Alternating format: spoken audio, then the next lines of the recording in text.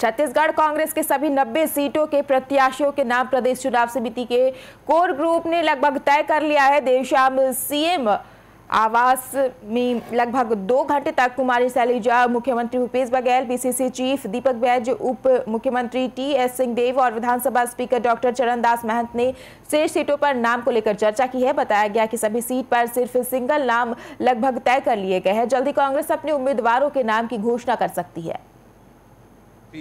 परिपक्वता इसमें कह नहीं सकता क्योंकि वो एक गुप्त प्रक्रिया है लेकिन प्रक्रिया का भागीदार होते हुए मुझे लग रहा है कि काफ़ी संतुलित तरीके से और काफ़ी परिपक्वता से सभी कोई भाग ले रहे हैं और निर्णय तक पहुँचने की कोशिश कर रहे हैं? इसमें कह नहीं सकता।